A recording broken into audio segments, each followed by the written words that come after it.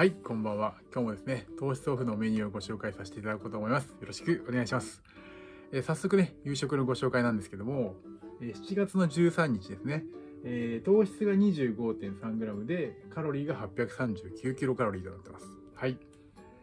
先にちょっと、あのーいつも食べてるやつからご紹介させていただこうかなと思うんですけど、はい、こちらですね。こちらはゆで卵、ハーフベーコンとキャベツですね。250g。これで糖質が、えー、12、3ってとこですかね。はい。カロリーが300弱っていうとこです。はい。あとは豆乳ヨーグルトとペプシ生ゼロと、まあ、こういった、まあ、おかめ納豆だったりとか、ね、納豆はよく食べてるんですけど、まあ、こちらもね、糖質は 4g ぐらいしかないんで、非常に低糖質なんですけどね。はい。というわけで、最初の1品目ですね。はい。えー鮭とオクラのみぞれあえと。糖質が 3.7g で、カロリーが134キロカロリーとなっております。はい。こちらの特徴といたしましてはですね、こちらなんですけども、まあね、ちょっと大根おろしのね、非常にいい匂いがするっていうのと、まあ、おつまみにもね、最適じゃないかということで、はい。非常に美味しそうなんですけど、えっ、と、まずこれがオクラですよね。はい。で、これが鮭。鮭です。はい。で、大根おろしと。大根おろしはもうめちゃめちゃたっぷり入ってますね。はい。僕大根おろし好きなんで、ちょっと楽しみですね。はい。早速いただきたいと思います。よいしょ。うん。いい匂いがします。はい。いただきます。うん。うまい。いいですね。苦味とかはないですね。うん。まあ、オクラも柔らかいし、まあ、鮭も骨入ってないんで、非常に食べやすいんですけど、やっぱり大根おろしのとこにかかってるこの醤油の部分がやっぱりしっかりと味付けされてるんで、まあ、鮭とオクラと非常によく合ってるなっていう感じがしますね。うん。ああ、美味しい。特に、あの、鮭が、なんか、本当にジューシーな感じで、大根おろしと本当ぴったり合うっていう感じですね。うん、本当つまみ系かなっていうのは間違いないです。はい。こちらのレシピは、えー共通なんで、ちょっと後でご紹介させていただきますね。はい。次ですね。えーカリフラワーと、カリフラワーの生ハムサラダ。はい、これからカリフラワーをね、ブロッコリー変更してるって形なんですけど、糖質が 1.5g でカロリーが61キロカロリーとなってます。はい。ですね。えっ、と、こちらの特徴といたしましては、うん。まあ、あの、ヨーグルトのね、なんか酸味があるみたいですね。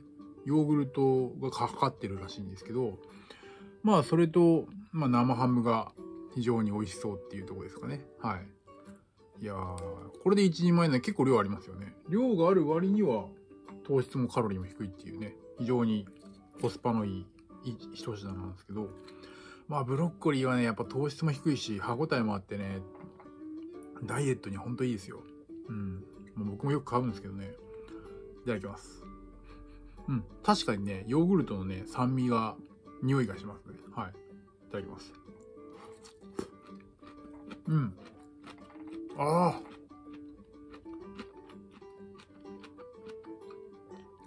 意外って思うかもしれないですけど、ヨーグルトと生ハムめっちゃ合いますね。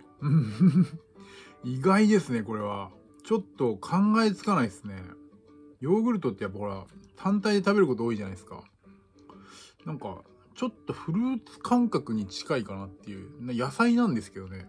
なんかフルーツになんか近いような感じがしますね。確かに。うん。生ハムサラダっていうところは伊達じゃないですね。うん。うん。で、やっぱり、先ほどお伝えした通り、ブロッコリーが歯応えがすごくいいんで、やっぱり満足感もすごくあって、もう全体的にすごく、あの、なんだろう、贅沢な一品ですね、これは。うん。生ハムもちょっといいですね。結構満足感あります。はい。で、こちらのね、レシピなんですけど、はい。決定版作り置き帰ってすぐでき、糖質オフの痩せる楽ウマレシピ350載ってますので、チェックしてみてください。はい。えー、最後にですね、えー、豆腐ご紹介させていただきます。八島食品さんの絹豆腐 300g。糖質が 6.6g で 177kcal。今ね、ちょっとあの、ショート動画も出させていただいてるんですけど、なぜか豆腐を中心とした昼食が一番再生数が伸びるんですよ。なんでかなって考えたんだけど、あの、やっぱりね、料理しなくても食べられるっていうのが一番シンプルでね、あの、なんか、変な話、共感してもらえるのかななんて思ったりしてるんですけど、こちらですね、僕がいつも食べてる、もう本当にダイエット始めた当時からやってるんですけど、絹豆腐。えー、八島食品さんの絹豆腐。えっ、ー、とね、カロリー177キロカロリーで、糖質が、まあ、食物繊維の除くと6.6なんですよ。で、やっぱりほら、まあ、糖質制限、糖質オフってなると 300g って結構量あるじゃないですか。で、それ結構食べるとお腹いっぱいになるんですけど、まあ、糖質ほんと低いんで、結構おすすめのメインに使えるものかなっていう感じはしますね。まあ、保存もある程度効きますし、僕はこうやって、まあ、冷ややっこなみたいな感じで、これ、鰹節がちょっとババってかかってて、上に醤油小さじ1っていう感じなんですけど、これだけでもうめっちゃうまくなりますよね、豆腐って。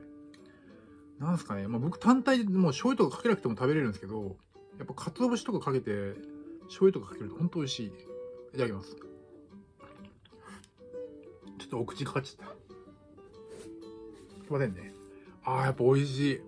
やっぱだからこれが結局一番シンプルに美味しいっていう で、これ、びっくりすると思うんですけど、めちゃくちゃ安いんですよ。まあ僕が行ってるとこはちょっと、あの、ドラあの、スーパーとかなんですけど、1個37円なんですよ。めちゃくちゃ安くないですか？いや、10個買って370円ですからね。お弁当1個にすらならないですからね。10, 10個買ったら、まあ変な話、1日2つぐらい食べてもい、ね、5日も持ちますから、もうめちゃくちゃコスパいいんで、豆腐はね、ぜひちょっとあの、あ、いろんな調理方法があるんで、ちょっとお試しいただけたらなと思います。本当あの、料理する時間ない人も、やっぱ豆腐は本当にね、コスパもいいんで、安いし、糖質も低いし、まあ、ちょっと醤油かけるだけで美味しくなるんで、ぜひぜひちょっと食べてみてほしいですね。はい。改めてちょっと日本人でよかったなと思いますね。これ見て。はい。というわけで、えー、今日もね、しっかりとこの後夕食いただいて、あの、また明日に備えていきたいと思います。というわけで、ご視聴ありがとうございました。